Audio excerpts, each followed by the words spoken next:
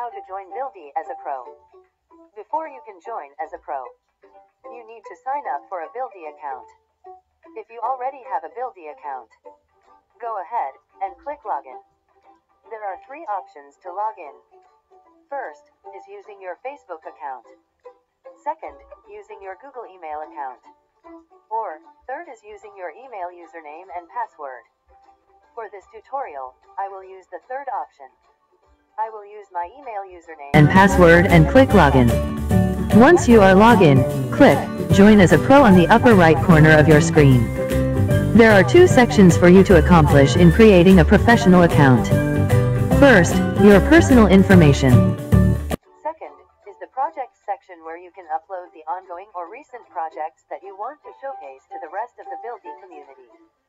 Make sure to fill up all the required fields. All the information that you shared with us is safe and secure. For more info on how we handle your personal data, you may check our terms and conditions about data privacy. How to fill up personal information section. Provide your first name and last name. Gender and birthday are also required. You also need to provide your active email ID, phone number, and complete address.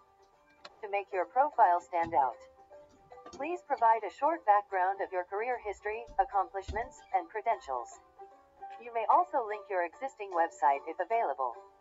You also need to identify your current job title. You may share an estimated job cost range to let your profile visitor aware of the working budget that you are willing to work with. And lastly, be specific on your professional services and expertise. Then, click Next Step. The next step is your project section.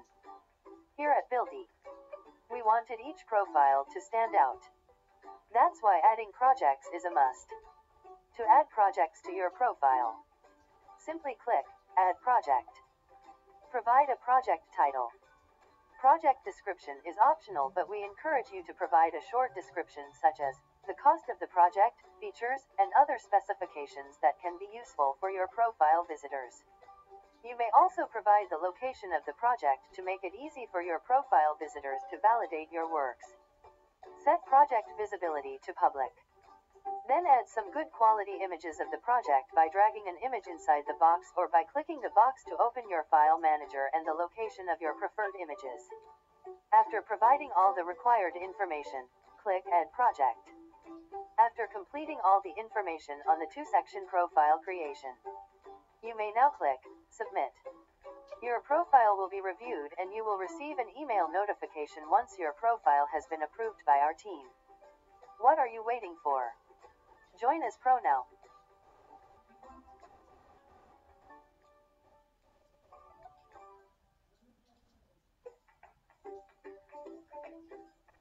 How to join Buildy as a pro. Before you can join as a pro, you need to sign up for a Buildy account. If you already have a Buildy account, go ahead and click Login. There are three options to log in. First is using your Facebook account. Second, using your Google email account. Or, third is using your email username and password. For this tutorial, I will use the third option. I will use my email username and password and click Login. Once you are logged in, click Join as a Pro on the upper right corner of your screen. There are two sections for you to accomplish in creating a professional account. First, your personal information. Second, is the projects section where you can upload the ongoing or recent projects that you want to showcase to the rest of the building community. Make sure to fill in all the required fields. All the information that you shared with us is safe and secure. For more info on how we handle your personal data, you may check our terms and conditions about data privacy. How to fill up personal information section. Provide your first name and last name. Gender and birthday are also required. You also need to provide your active email ID, phone number, and complete address. To make your profile stand out, please provide a short background of your career history, accomplishments, and credentials. You may also link your existing website if available. You also need to identify your current job title. You may share an estimated job cost range to let your profile visitor aware of the working budget that you are willing to work with. And lastly, be specific on your professional services and expertise. Then, click Next Step. The next step is your project section. Here at Buildy, we wanted each profile to stand out. That's why adding projects is a must. To add projects to your profile, simply click Add Project. Provide a project title. Project description is optional, but we encourage you to provide a short description such as the cost of the project, features, and other specifications that can be useful for your profile visitors. You may also provide the location of the project to make it easy for your profile visitors to validate your works. Set project visibility to public. Then add some good quality images of the project by dragging an image inside the box or by clicking the box to open your file manager and the location of your preferred images. After providing all the required information, click Add Project. After completing all the information on the two-section profile creation, you may now click Submit. Your profile will be reviewed and you will receive an email notification once your profile has been approved by our team. What are you waiting for? Join as pro now.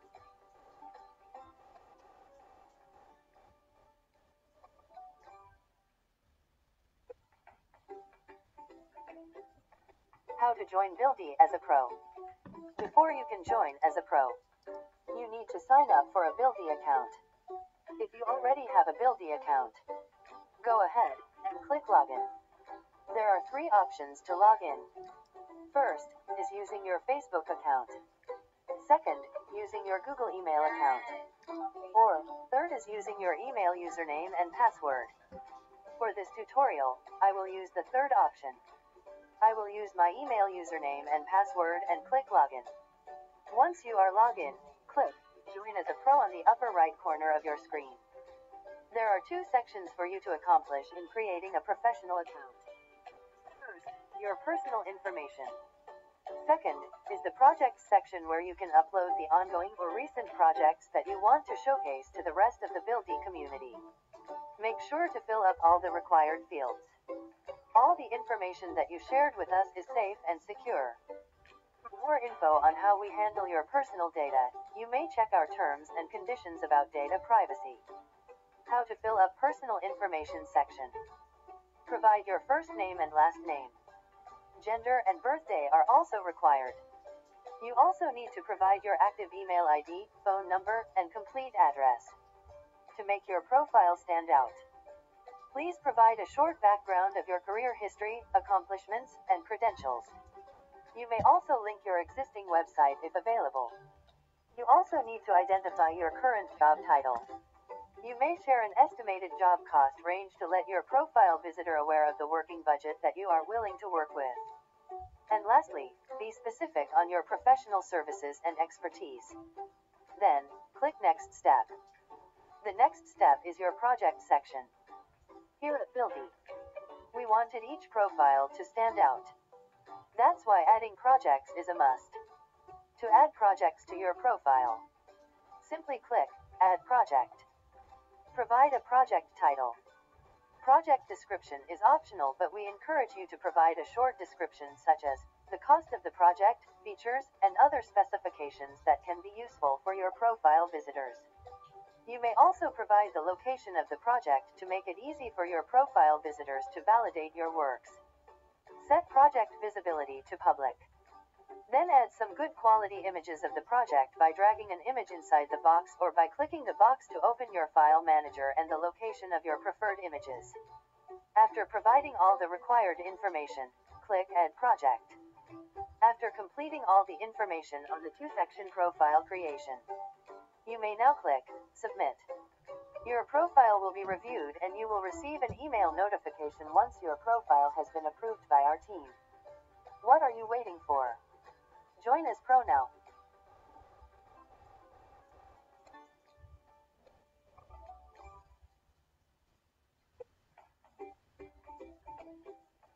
How to join Buildy as a pro. Before you can join as a pro, you need to sign up for a Buildy account. If you already have a Buildy account, go ahead and click Login. There are three options to log in. First is using your Facebook account. Second, using your Google email account. Or, third is using your email username and password. For this tutorial, I will use the third option. I will use my email username and password and click login. Once you are logged in, click join as a pro on the upper right corner of your screen. There are two sections for you to accomplish in creating a professional account. First, your personal information. Second, is the projects section where you can upload the ongoing or recent projects that you want to showcase to the rest of the Buildy community. Make sure to fill up all the required fields. All the information that you shared with us is safe and secure. For info on how we handle your personal data, you may check our terms and conditions about data privacy. How to fill up personal information section. Provide your first name and last name. Gender and birthday are also required. You also need to provide your active email ID, phone, and address to make your profile stand out. Please provide a short background of your career history, accomplishments, and credentials. You may also link your existing website if available. You also need to identify your current job title. You may share an estimated job cost range to let your profile visitor aware of the working budget that you are willing to work with. And lastly, be specific on your professional services and expertise. Then, click Next Step. The next step is your project section. Here at Buildy, we wanted each profile to stand out. That's why adding projects is a must. To add projects to your profile, simply click Add Project. Provide a project title. Project description is optional, but we encourage you to provide a short description such as the cost of the project, features, and other specifications that can be useful for your profile visitors. You may also provide the location of the project to make it easy for your profile visitors to validate your works. Set project visibility to public. Then add some good quality images of the project by dragging an image inside the box or by clicking the box to open your file manager and the location of your preferred images. After providing all the required information, click Add Project. After completing all the information on the two-section profile creation, you may now click Submit. Your profile will be reviewed and you will receive an email notification once your profile has been approved by our team. What are you waiting for? Join as pro now.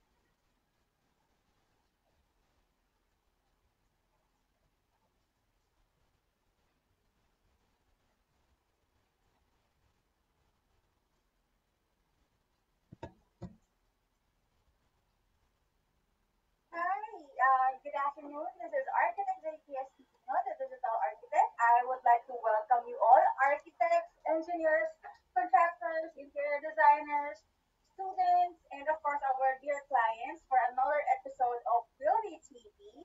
So, what is Buildy? Buildy is a technology-enabled platform solution providing the best experience in connecting people with a trusted ecosystem, just like us, architects, engineers, our clients, suppliers, contractors, so we can all merge in building. So it's a website that you can uh, we can register in, so we can have a representation of ourselves kung wala po tayong sariling ating website yet, or you want to get more mileage being in building. So it's just an easier way for us to uh, to communicate with each other and have a, a, a system So that's Building TV. And before we proceed to our episode, I would like to announce the winners for last year's, uh, last year, last week's episode. Uh, they are the ones who will get uh, Buildy t-shirts. So first winner is Armando Sanchez, and the second winner is Courtney L. Delphine. So congratulations to our winners. And for today's episode, you can still win the t-shirts from Real by sharing this uh, live, by sharing this video, tag two of your friends, and uh, type in hashtags ProStock, BuildyTV, that's the with the three E's, and uh, the Digital Architect, and also we can add in uh, hashtag Maestro. Kasi saktong-sakto, our um, special guest for the day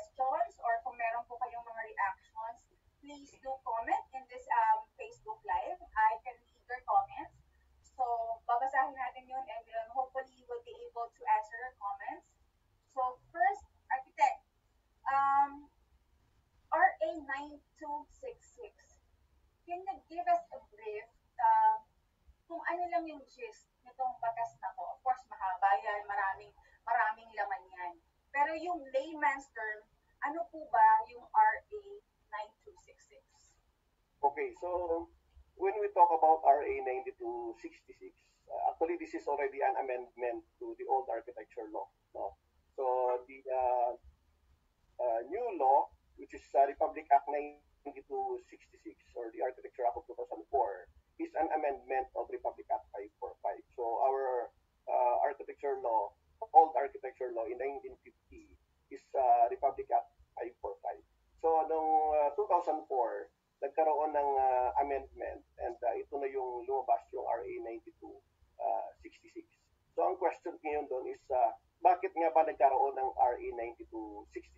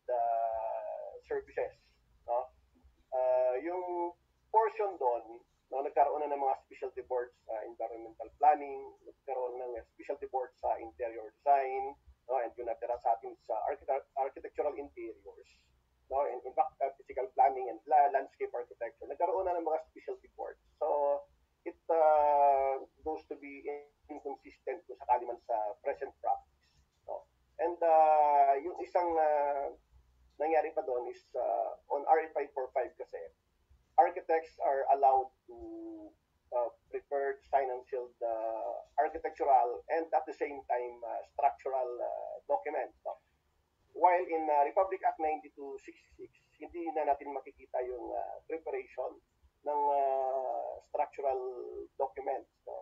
Uh, agad maaari ang, ang point natin doon is that uh, we will delineate the function between architects and the civil engineers. No? Na, uh, at the end, nagkaroon ng uh, disputes na hanggang ngayon is nakapending doon sa sa Supreme Court. So may mga pagbabago na ginawa doon sa old architecture law kung bakit tayo nagkaroon ngayon ng uh, bagong uh, batas, RA 9266, no? para mag-align sana doon sa uh, present uh, situation. So basically, sir, um, the RA 9266 is based from the previous RA 945, uh, 945, but changed, 545. amended to uh, uh, uh, amended para maka-adjust sa tamang panahon. Because Yes. there's a lot of changes now, di ba, sir? Yeah. So, um, ang pagkakaintindi ko kasi, as an architect, the RA 9266, ang pagkakaalam natin mga arkitekto, is this is a law that specifically says na arkitekto lang ang pwede gumawa ng architectural plans. So, gaya-gaya po na nabanggit na kanina, dahil tinanggal, this law also takes away our um, our legal right to sign the other allied services like structural and all that. So, nililinaw din ito kung ano yung scope ng arkitekto. Tama po ba? Yes, so kasi pag tinignan natin ngayon yung ating RA 9266, nakalimit na lang tayo doon sa structural conceptualization. No? While on RA 545, malinaw na nakalagay doon that yung uh, isang scope of practice ng architects is architectural and structural designing. So pag uh, tinignan natin yung mga architects before RA 9266, di ba? Yun ang sinasabi natin na uh, nagpa-practice pa tayo ng DAED, no? detailed architectural and uh, engineering uh, design services. Because on RA 545, uh, we are allowed to prepare architectural and uh, structural design. But uh, for the other allied professionals like uh, plumbing and sanitary, electrical, there's no basis in law actually na we are allowed to do the design of uh, plumbing and sanitary and uh, electrical. What the law says, even on RA 545 and now at the present uh, RA 9266, ang sinasabi doon is uh, sa allied professionals, architectural layouting of mechanical, electrical, plumbing, and sanitary, uh, electronics communication. So malinaw yon na nakalagay doon na uh, architectural layouting that is not considered as uh, engineering per se. Now we are allowed to uh, design, yeah.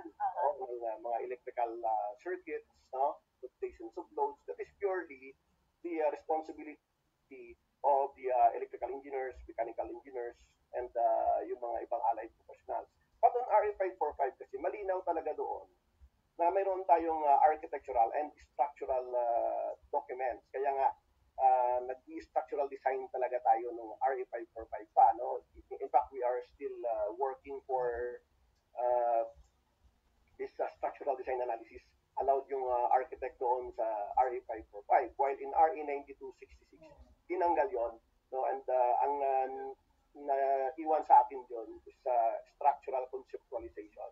So nawala sa atin yon but uh, you know uh, kung uh, mapapansin niyo in my uh, Facebook account nung nakaraan I, I even posted kung allowed pa ba tayo doon sa DAED no? Kasi nag-DAED tayo on RA 545 because malinaw that there is a basis in law that we are allowed to design structural uh, drawings. But in in 1966, we are now limited on uh, structural uh, conceptualization. Uh, although we are uh, uh, taught in school na to prepare uh, the whole uh, complete uh, working drawings from architectural, structural, planning, and electrical because we are the prime professionals. No? Sa atin kasi yung balik yes. uh, prime professionals, tayo ngayon ay consult ng mga allied uh, professions pagka may mga changes or may mga recommendation sila na dapat uh, kailangan lakihan natin yung ah, uh, shop na to dahil hindi kasya yung yeah. tubo. That's, that's the main reason actually. No, so, yun ang sinasabi natin, okay. we are being a prime professional in the uh, construction industry. Okay, linawin ko lang ulit sir ah. So, um, dun, sa iyong explanation, ay alala ko oh, kasi when I was a student, ang sinasabi ng professors ko at that time, pwede pa, pwede pa tayo mag-design ng structural, ng whatever, ng, on a certain number of levels. Kung hanggang ilang palapag lang, di ba? So, the, the RA 9266 ngayon, nililinaw nun na hindi na pwede.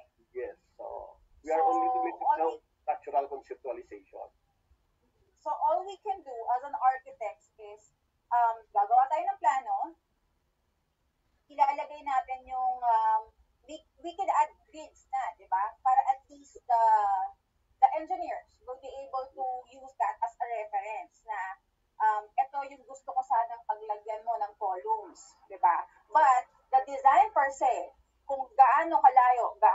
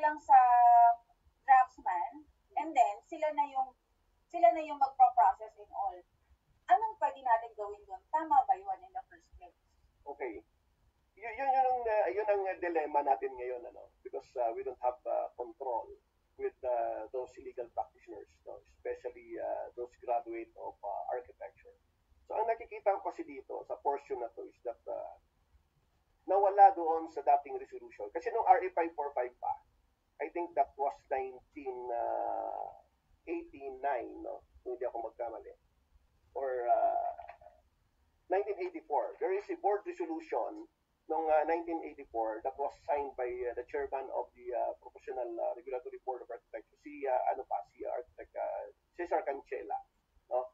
Nung nasa RA 545 pa tayo. Nakalagay doon sa logbook of the diversified experience that uh, all architects must render a mentorship to all the aspirants for a, for a minimum of four, four uh, months. And uh, that uh, mentorship ng isang architect is that uh, hindi ka pwedeng mag-renew ng iyong uh, PRCID on time. Pagka ikaw ay walang mentorship sa isang uh, aspirant for a minimum of four months. So, in that aspect, uh, hindi lang yung uh, aspirants ang naghahanap ng trabaho. No? Hindi lang yung aspirants ang nagsasabi na saan kaya ako papasok. But uh, even the architects, nagsasabi na, uy, mag-apprentice ka naman sa akin uh, because uh, the architect uh, needs that aspirants no, na mentor dahil requirement din yung sa renewal ng professional license or professional uh, identification card. But on uh, RA 9266 na, ang naglabas ng panibagong resolution, uh, Board Resolution number 4, series of 2005, nawala yung uh, context na yon. No? So, what happens right now is that uh, graduate of architecture, ang uh, ang uh, hinahanap nila ngayon is employment rather than uh, apprenticeship. No? So, dapat mabago yung konsepto na yun. And even in the academy, dapat uh, minumolds talaga yung uh, mind ng ating mga aspirants na after graduation, you are not really allowed to to uh, design uh, any architectural uh, documents na parang talagang arkitekto ka, no? Or you are offering services to Yeah. others. Kasi ang uh, role mo Mhm. after graduation sa College of Architecture is diversified training, wala nang iba pa, no? Kung uh, hindi ka magpuproceed for the uh, board uh, licensure examination for uh, example, then you continue with your diversified training kasi pwede naman mag-compensate sa'yo yung mentor. But offering it to other uh, professionals like for example uh, engineering uh, at mag-apply ka doon that you are graduate of uh, architecture. So di ba parang merong uh, uh, parang na, na ano ka na disalign ka no na dapat uh, you are serving architects rather than other professionals. Kasi uh, ang training mo is more on architectural dapat sa architecture ka nagsiservisyo. So, kaya, kasi gaya ng sinabi ko, uh, their role dapat is uh, more on structural designing. So dapat wala ka ron. So, so dapat nandito ka lang sa side ng uh, ng mga architects no, for for that employment. So isa yan sa dilemma natin na, na kailangan tingnan. So, kasi ngayon, ang yung mentorship na mandatory sa mga architects, wala na para siya mismo pag-graduate ng estudyante. So niya, o sa firm ka, sa, sa akin ka muna, no, for, for uh, minimum of four months, di ba? Mhm. So, with that kasi may control dapat yung mga architects mentor eh, na naiipon yung mga students sa mga architectural firm because that is mandatory. Ngayon nawala yon o hinahayaan natin yung mga students, graduates, na maghanap ng sariling employment and majority po papasok na nga sa mga construction firm no? na hindi talaga diversified training yung uh, practice. And uh, in fact, yung mga trabaho nila sa mga ganyan na hindi diversified training, napipirmahan din ng mga architects na nag uh, pinapa ano nila pina palabas no that they are mentors no? Uh, pero sa totoo lang, uh, the uh, six basis cycle of uh, diversified training is hindi talaga nag-apply. So, yun yung naging problema. Yeah. So yun, those uh, those who are students pa ng architecture ngayon, so uh, let's take the advice of Maestro, no? It's always better. In fact, yun talaga yung design sa inyo, sa atin na magiging arkitekto, na nagpupursue ng field na to, is for you to be mentored by an architect as well. Kasi um, yun yung ano eh, yun yung kailangan nyo rin to, to prepare for your career and to prepare for the board exam. Although, of course, dahil na rin sa sa realidad ng buhay, baka mapunta kayo sa ibang mga scope, like mapunta kayo sa engineering field na, or mapunta kayo sa construction agad, um, of course, it's still your choice. Pero for us, being uh, somehow matagal-tagal na rin sa industriya, um, for us, we need, it is better talaga if you uh, get mentored under a licensed architect. In fact, yun ang isa sa tingin kong maling na ginawa ko eh, as an architect. Hindi ako naging, hindi ako as in nagpaka-draftsman ng matagal. Because um, na, na, nasabak agad ako sa uh, construction. And um, I believe it's, it's a really good uh, training for me if talagang nagtagal ako as a draftsman, nagtagal ako kakagawa nitong mga detalye na to and um, learn from uh, very good architects at uh, senior to me at that time. So, sir, thank you for that advice mo. Sana mapulutan ng aral ng mga uh, mga aspiring architects.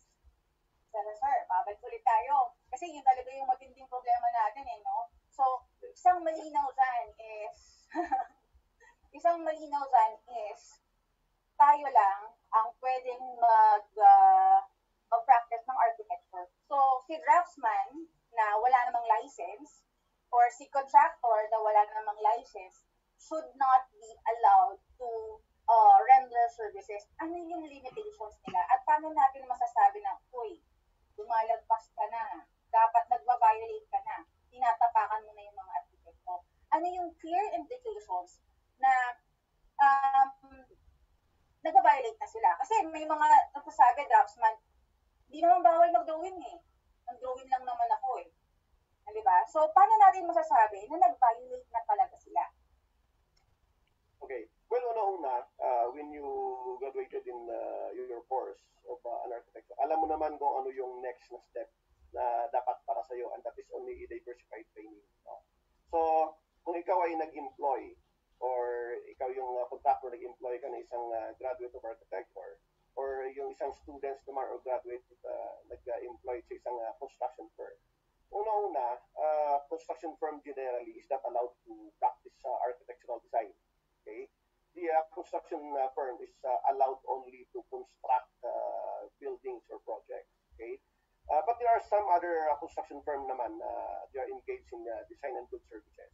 And uh, the uh, up uh, some architectural firms to do uh, architectural design in their behalf. So, okay lang yon kasi uh, architectural firm naman ang uh, pinagawa. Architects pa rin yung gumawa. Architects pa rin, oo. Pero kung ang isang uh, construction firm per se is uh, gumawa talaga na nag-design ng architectural uh, uh, design, no? parang architectural firm ang uh, labas, then uh, dapat yung architect na nandun uh, should not be uh, allowed no?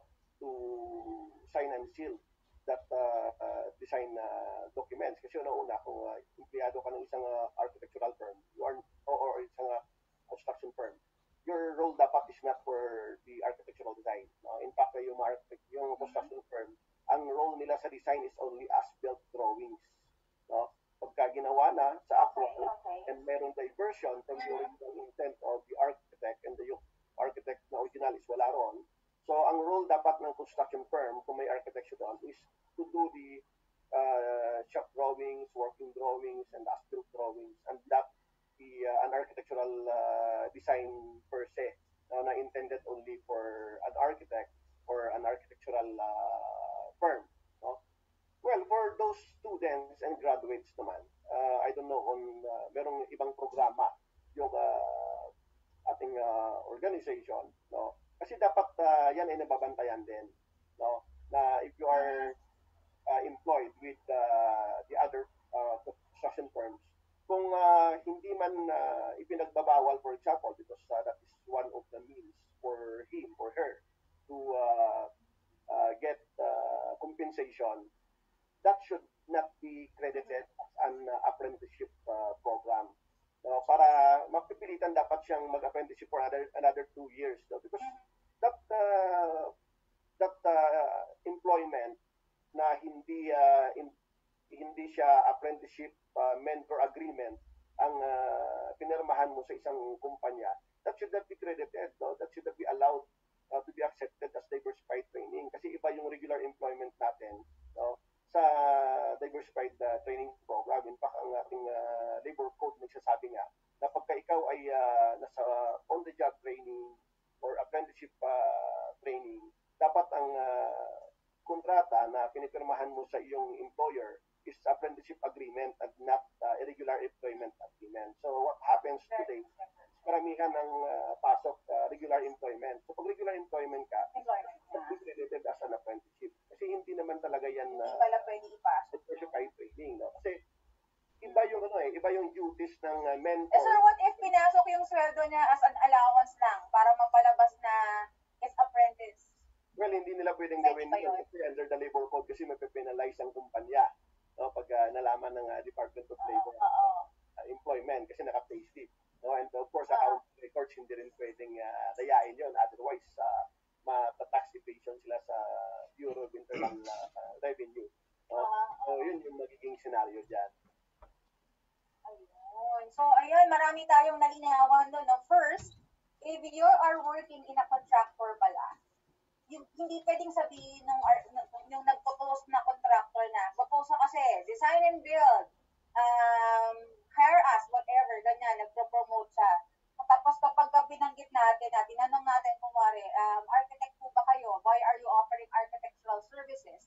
And if the, the contractor says, meron kaming architect, nag-employ ako ng architect, mali pala yun. Kasi whoever is employed under the construction company cannot do the design.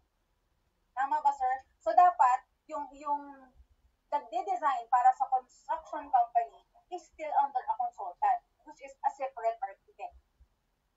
Yes. Diba? So, kasi So- ang uh, contractor as uh, a corporation, no, una-una, when you register as a construction firm or as a contractor per se, no, uh, a corporation cannot uh, practice architecture. That is the general rule. No? Kasi ang practice of architecture is only limited to the persons with uh, academic qualifications. no? and uh, yun lang yung binigyan ng PRC, ng Certificate of Registra- Registration or authority to practice the profession. Take note, ang uh, isang corporation and ang isang architect, mayroong uh, separate and distinct personality. Uh, a corporation is a juridical firm, Yes. while an architect is a natural person, which is only the natural person were vested an authority by the PRC to practice the profession. So, kaya kapag tininan mo, you're not allowed to uh, register with the Securities and Exchange Commission as a corporation because corporation is separate and distinct personality with those of these uh, stockholders. No? So yung stockholders lang ang allowed to practice, the corporation itself as a juridical person is not really allowed to practice architecture dahil wala silang authority from the PRC. No? At hindi nila pwedeng sabihin na may mga architects naman kami. Yes, may mga architects kayo, but the one who practice is the Exactly. corporation, not architects per se. So that's that's the ano, that's the uh, Mhm. of uh, the boundary between uh, uh, an architect as the uh, stakeholder and the corporation as juridical person. Ayun. So, nalinawan tayo ah. Kasi mara ang isa sa nagiging problema ng mga arkitekto is hindi na sila makakuha ng project dahil ang mga contractors nag-offer ng design and build. Saying, meron naman silang arkitekto. So, mali yun. Mali pala na meron lang, dahil nag-hire sila ng arkitekto, pwede na sila mag-design and build. Hindi pa rin, yes, you may hire an architect to do your soft drawings, probably to to supervise the construction or or or, or um, coordinates with the contractor or uh, subcontractors, suppliers, and everything. But they cannot function as a design architect. So, therefore, for every contractor, for every project ni contractor, dapat meron siyang hinahire na design consultant. So dapat, hindi nawawala ng trabaho ang arkitekto, hindi nawawala ng, ng trabaho si design consultant. Kasi bawat project niya, dapat taga-hire pa rin siya ng architect. Diba? So, it shouldn't, it shouldn't be a problem sa atin. In fact, if, if only, if only nasa tamang proseso ang construction or ang industriya, nagkakatulungan tayo dapat. Yes. Hindi nag-aagawan. Di ba, sir? Yun. So, malinaw yun. Uh, take note of this. Empleyado ka, arkitekto ka, empleyado ka ng isang korporasyon. Piruhin mong uh, nagsasahod ka ng monthly but you sign and seal the uh, architectural drawings and you take liability on that for liability. years. Di ba? Oh, di ba? Kahit oh. sahod ng monthly, mm-hmm. you take that liability na in fact hindi pa nga pwede. No? Kung mahigpit ka lang yung ating uh, professional regulation commission or yung ating uh, o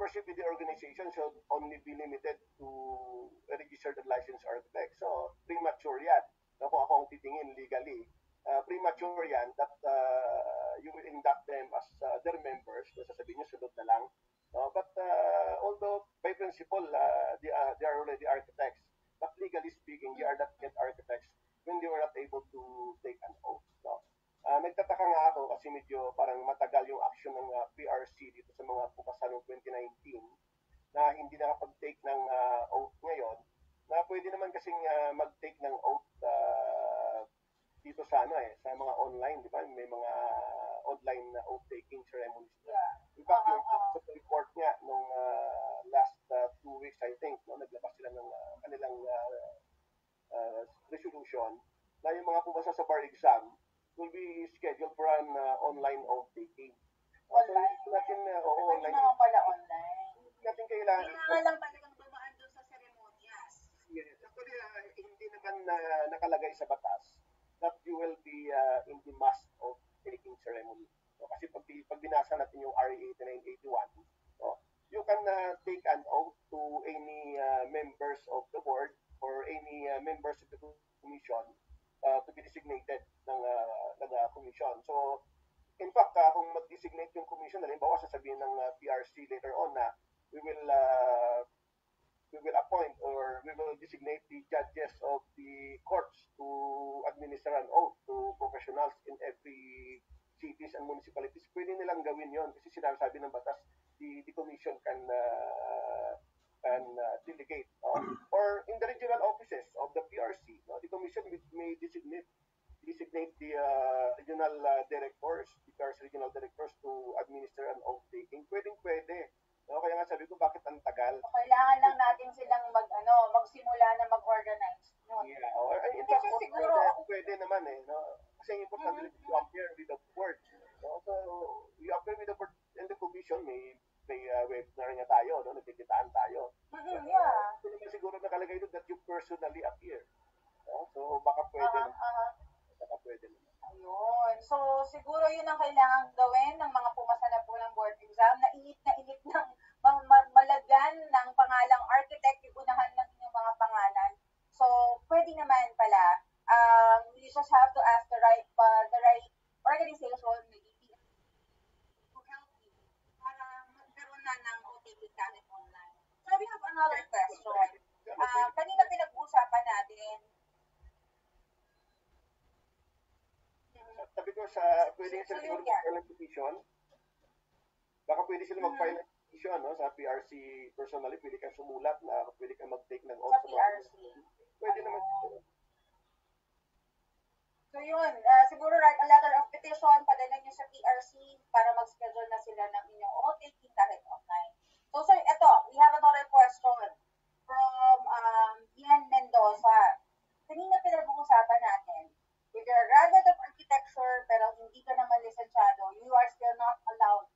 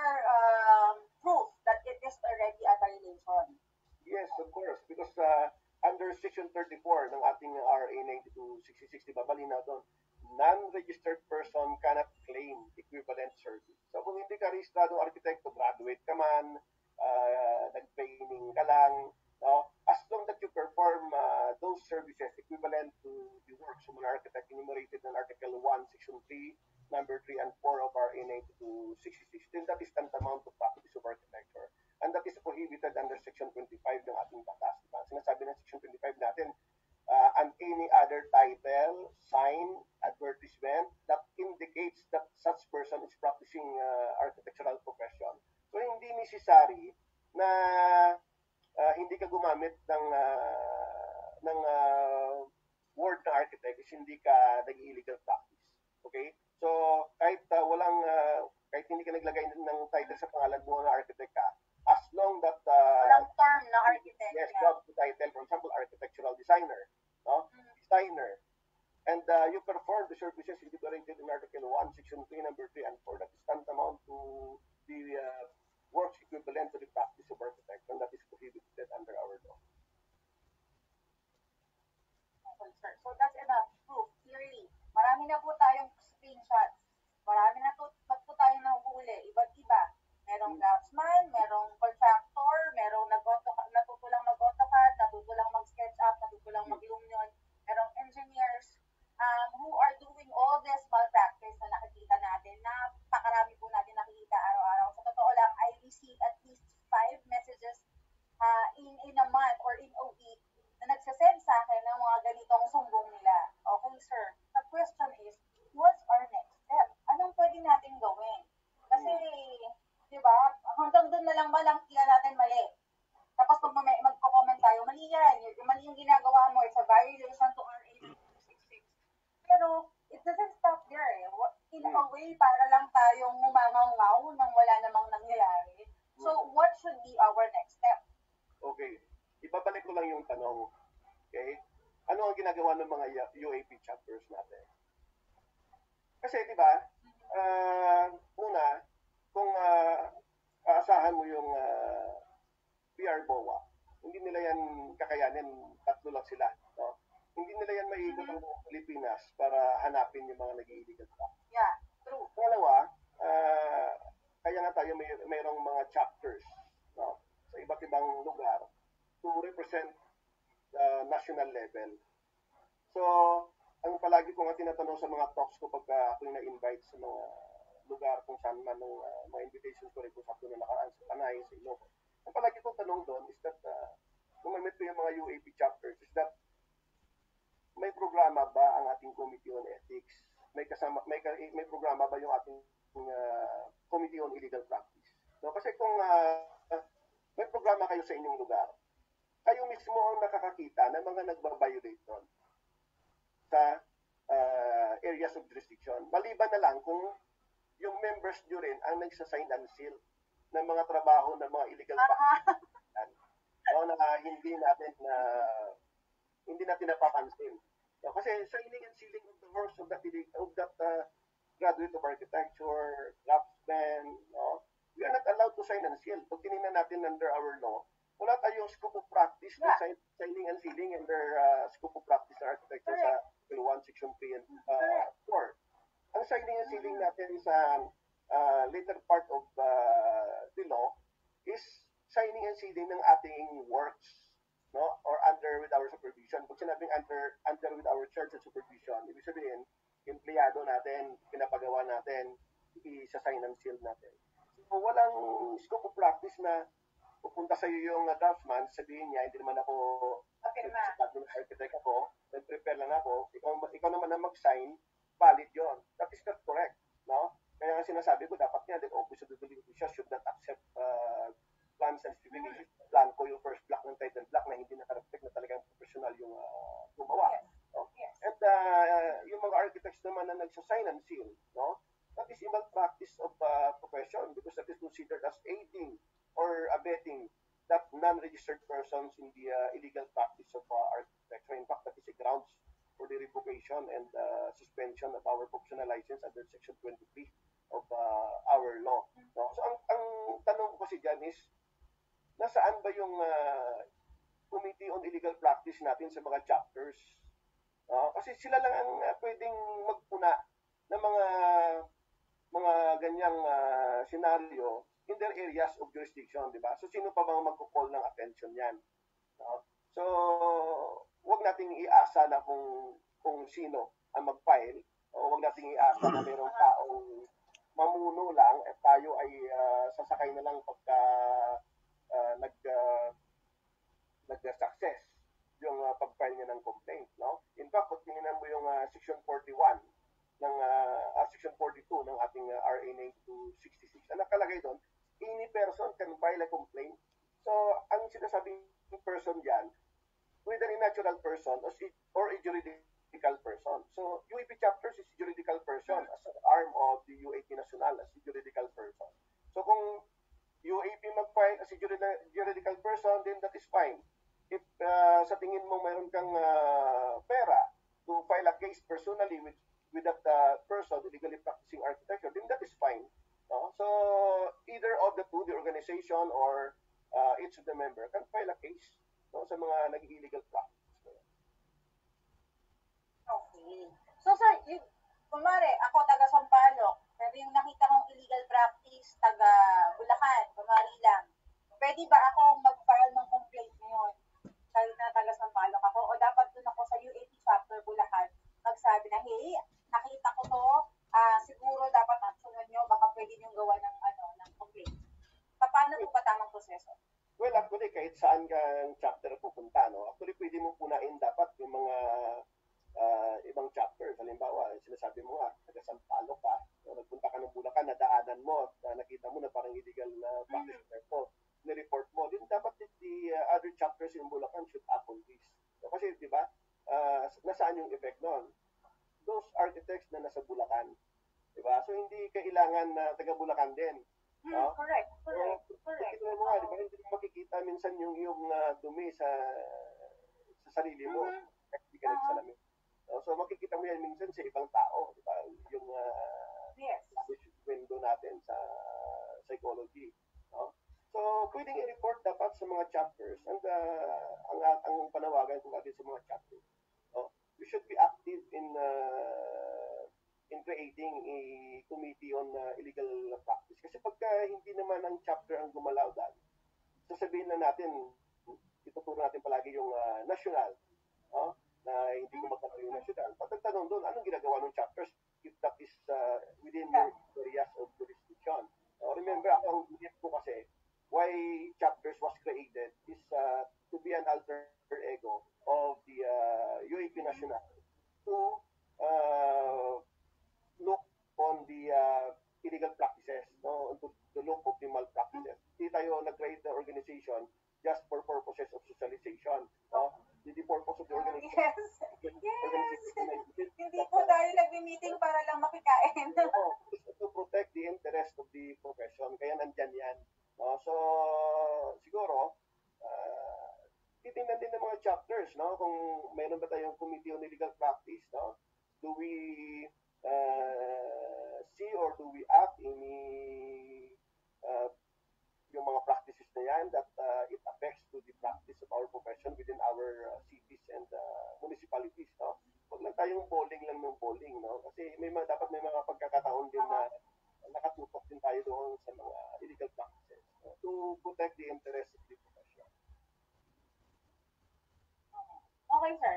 So, yun. Um, I'm Manila, from Manila, pwede ko i-report sa Bulacan. What if yung nagmamalpractice is from outside of Philippines pa? Ah, draftsman siya sa ibang bansa, pero kung nakakakontrata siya ng mga, mga drawings dito and all, um, wala ako sa jurisdiction, asa, may, nasa Pilipinas ako, asa Maynila ako, pwede ko pa siya file ng kaso. Ako mismo, ipapile ko siya ng kaso kahit wala ako dun sa niya. Pwede ba yun? Uh, he is a foreigner, Hindi, Pilipino rin, sir. pero nasa ibang bansa siya. Nasa ibang bansa lang siya. Okay. Uh, una, uh, if you are outside the Philippines, uh, ito, ano, if you are outside the Philippines, ano, una, hindi ka arkitekto. Mhm. because our uh, license, our authority to practice in our certificate of registration is only uh, limited within uh, our areas of jurisdiction. Pag lumabas ka ng ibang bansa, tinatawag ka lang na arkitekto, na-employ ka doon as uh, arkitekto, so, pero sa totoo lang, yung, uh, yung authority to practice has no full force and effect. So, hindi ka arkitekto sa ibang bansa, sa ng uh, Pilipinas. No? So, yun. Ngayon, kung siya ay arkitekto, uh, well, pwede naman siya magkontrata, ba't di ka nag-sign and seal? No? So, kung preparation ng documents Ay, yan, kung hindi talaga, sir, kung siya, kung hindi Okay, talaga ka- lisensyado, then uh, that is still considered as illegal practice. Hindi pa rin pwede. So ako, na nandito ako sa Pilipinas, malayo ako sa kanya, iba naman yung ginagawa ng project, I can file a case against him. Yes, of course. As long na yung uh, Ay. ginagawa niya is nasa Pilipinas. Okay. So ako, ah, since marami nagsusumbong sa akin, marami akong nakikita mga violation, pwede ako mismo mag-file, pwede ko rin idaan through my UAP chapter. Yes, of course. Uh, in fact, uh, di ba, ang pipirma pa rin yan kung sino yung architect na nasa Pilipinas. Uh, so, the one who Yes. cancelled na architect yan is damay dyan because of that uh, aiding or abetting such person in the practice of illegal, uh, the illegal practice. So malinaw yun, sir. Pwede akong magkaso sa kahit kasino. Makita ko nagmamalpractice. Yes. Okay. Baka may masampulan na. okay, sir. We have more questions. Kaninang pinag-uusapan lang natin, puro architects. And you cannot sign, you cannot sign and seal any drawings na hindi ko ang gumawa. Pwede yun kung as in empleyado mo siya, hindi siya license, pero empleyado mo siya, sa yung gumawa, na na-mentor mo siya, nakita mo mismo paano niya ginawa and everything, then you can sign for that. Pero hindi pwedeng um, pasign na lang na hindi naman talaga ikaw yung gumawa. So that's one. Number two, if you are a contractor, meron kang um, empleyadong arkitekto, your employee, kahit license pa siya, cannot sign for that dahil empleyado mo siya. You still have to hire an architect consultant outside of your construction, uh, construction firm. Right, sir? Yes, so, pero well, Okay. kaming uh, gumagawa niyan sa market,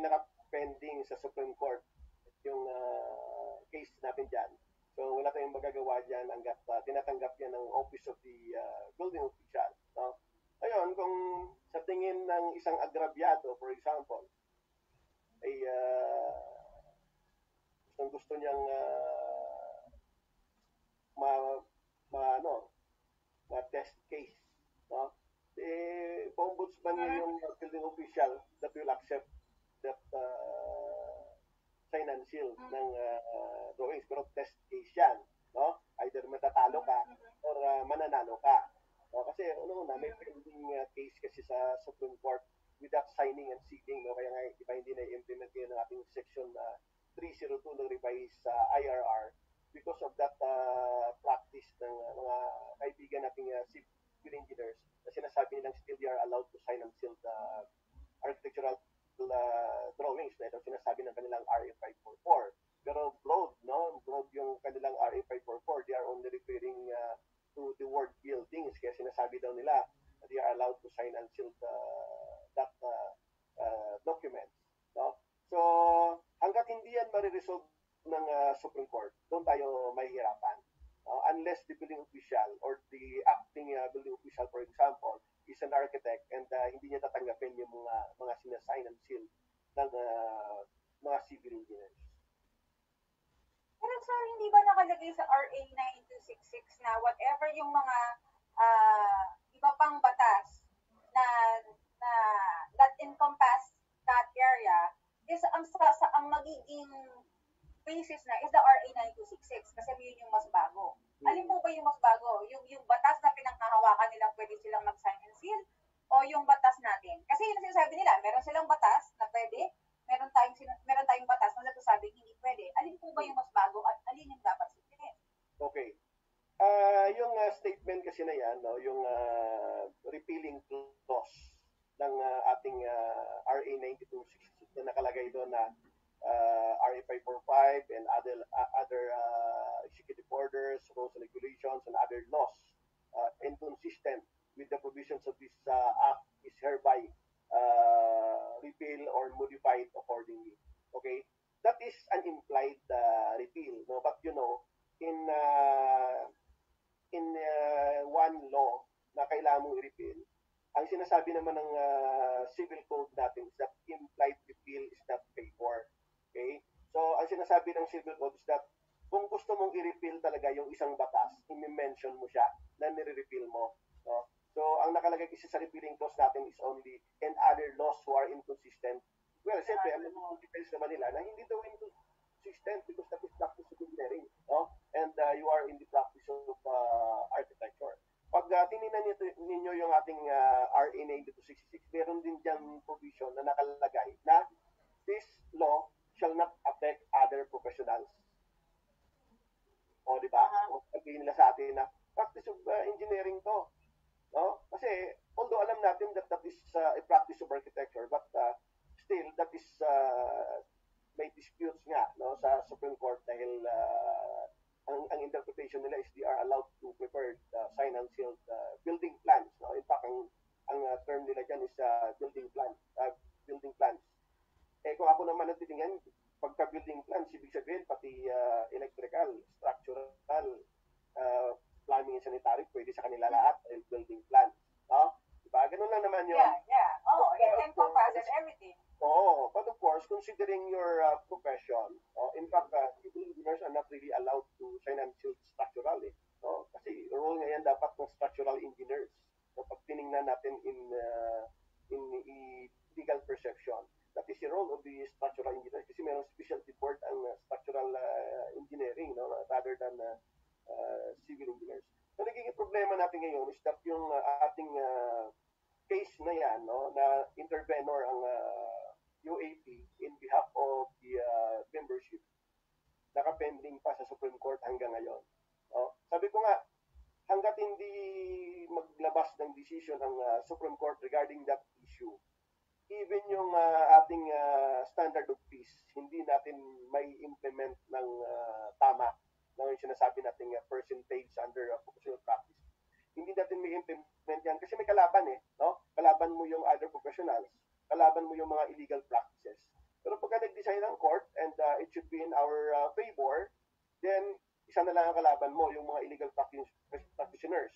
And, and since na hindi na pwede, for example, no, kung mag-decide yung court in our favor at hindi na pwede mag-sign and seal ng mga civil engineers sa mga gawa ng mga illegal uh, practitioners, mas madali na ngayon i-penalize uh, and babantayan yung mga kapwa nating arkitekto na magsa-sign and seal ng mga gawa ng mga illegal practitioners. No, at yeah. madali na i-impose yung mga standard of peace na yan. Sa ngayon, hindi yan nai-impose because maraming kalaban, no? Other professionals and other, uh, yung mga illegal practitioners. So, sir, isa sa pwedeng maging bala natin to, to, to not have these problems is magkaroon ng uh, building official as a designated architect. Architect talaga yung uh, maging building official na uh, huling pipirma sa ating mga, yun ba yung solusyon doon? Well, uh, ang uh, sinasabi ng ating uh, building code, no, under revised IRR, uh, ang qualified ang qualified to sit as building officials is uh, an architect and uh, an engineer.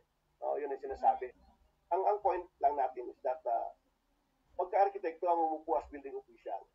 No? At uh, hindi niya in-impose yung RA 9266 hindi kalaban yung mga arkitekto, pwede siyang itawag sa Committee on Ethics. Di ba? Okay. So, uh-huh. kaya yes, yes. may control. Ayun. control. Otherwise, pagka hindi arkitekto yan, ombudsman tayo. Di ba? So, yun ang mm-hmm. Pagka arkitekto mo po, tapos yung ethics sa uh, committee mo siya, mapipilitan sa kanya mag-impose. No? Yeah. Yung, yung mga engineers naman, Kasi pwede siyang ireklamo. One case. Oh, yun yun ang mangyayari. Yan. Ayan. So, thank you very much, sir. Um, ang dami na natin na pag-usapan, pero within the within power, already going over time. Okay pa ba, sir, for another maybe 10 minutes? Yeah, sige, sure. Ayun. Uh, pero before we continue, I'd just like to mention again, all those who are watching, um, you can win a Buildy TV t-shirt or a Buildy t-shirt. Uh, all you have to do is share this live video, tag two of your friends, and um, use hashtag BuildyTV, Buildy na may TVs yun, and then the digital architect, and also, lagtag na natin yung hashtag maestro. So, um, so yun. For those who are watching, marami po tayong mga um, kasama dito. Mga, uh, most of them are architects uh, who are watching. Thank you for always watching Buildy TV. Um, merong comment si Architect Freddy Bautista design, no?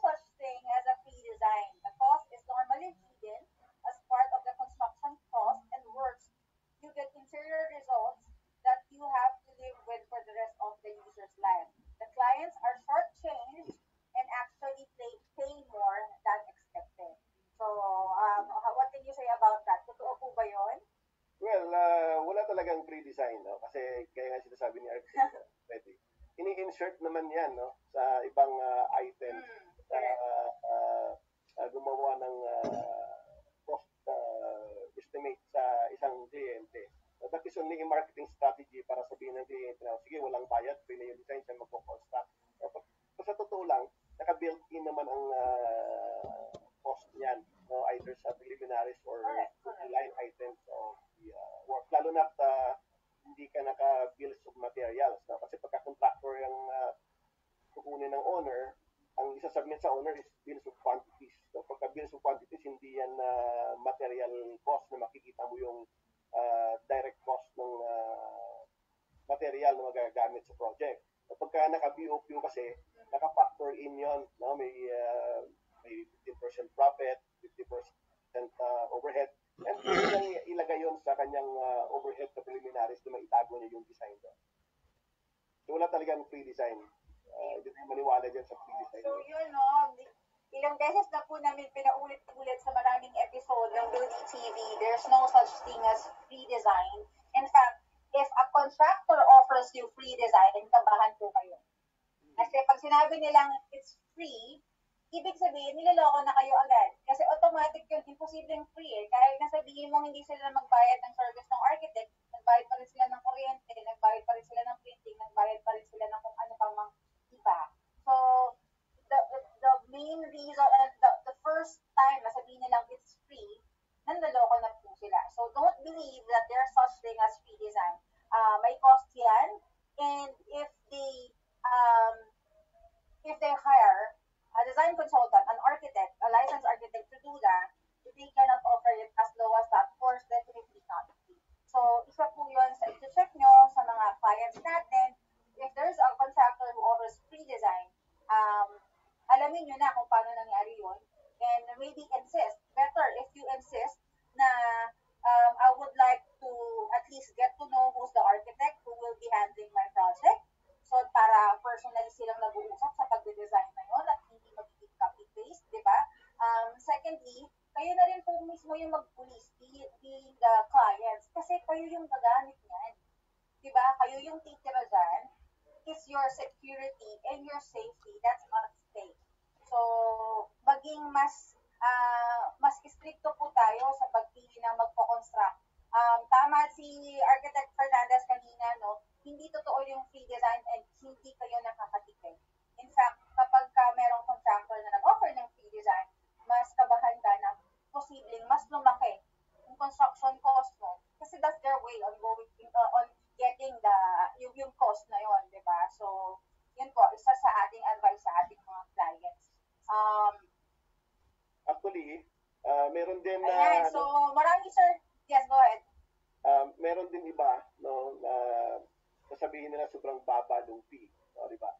And ah, usually ang pinoprovide nila is that a comprehensive ah, architectural ah, drawings not only for purposes of ah, building permits. No, yun naman ang ginagawa ng iba. And then later on, mas lalong lumolobo yung ah, cost ng ah, project ng owner dahil kulang yung detalye. No, hindi na estimate ng tayo. dahil ah, ang mga details no is only yung mga basic details na uh, makomplete lang yung ah, number of sheets no and uh, makakuha na ng building permit.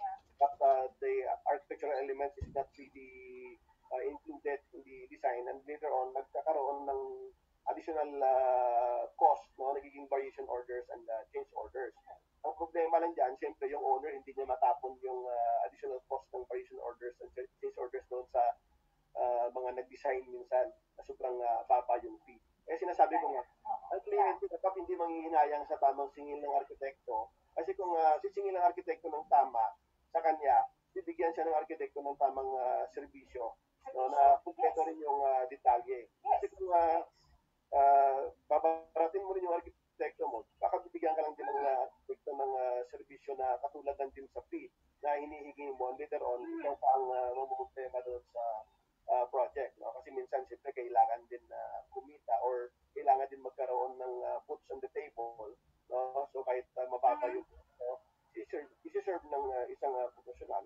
Pero, of course, equivalent din doon sa fee na hiningi yung iprovide sa iyo. Uh, ah, yun yung pagiging problema din. First, if they did not hire an architect, nag-hire lang sila ng kung sino mang marunong mag-drawing. Hmm. And then, uh, uh, actually, umikot na rin itong issue na to eh. Kasi hindi siya architect, nag-offer siya ng design. And then, us architects, nakita yung mali sa design niya. So, may mga nag-comment na may mali ka dito, bakit ganyan yung design mo, hindi pwede yan, um, ah, hindi makakalabas yung tao kasi ang baba ng ceiling mo or ganon. And then his answer was, wala akong pakialam kasi hindi naman ako yung titira Hmm. hindi naman, so, nag-drawing lang siya. So, yun po, yung isa sa rason why you should hire an architect and pay yung tama. Kasi, um, mas mahirap yung dinesign lang niya at kinapipix lang na kung saan yung drawing mo. Pero pag i-construct mo na, hindi mo na siya mabuo. Kasi kukul lang sa detalye. And worse, hindi mo na makontak yung nag-design ng bahay mo.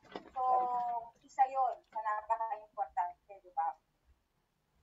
Ito pa sir, we have another question from Francis Lusan. Um, tanong ko lang po, bakit po ang mga city, pwede sila makapirma sa scope of work ng architect? Well, it's the same answer dahil nakapending yung uh, case natin sa Supreme Court, no? And uh, previously kasi allowed also no sa bago mag 9266 both uh, architects and uh, CEs no uh, napayagan na uh, gumawa ng uh, architectural and structural. But you know generally tayo lang talaga sa RA 545 ang malinaw yung architectural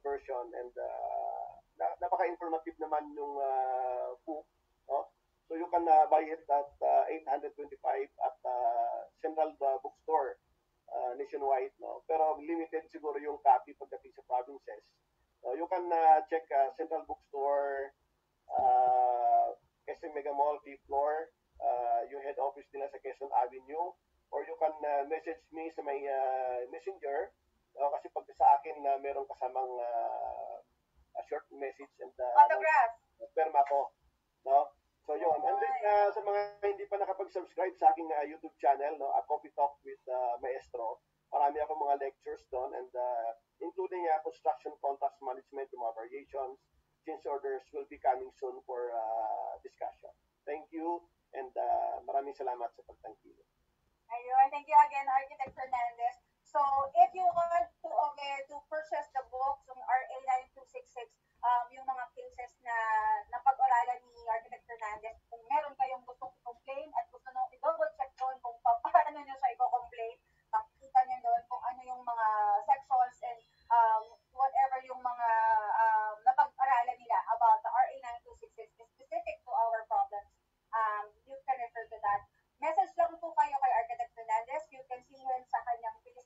uh,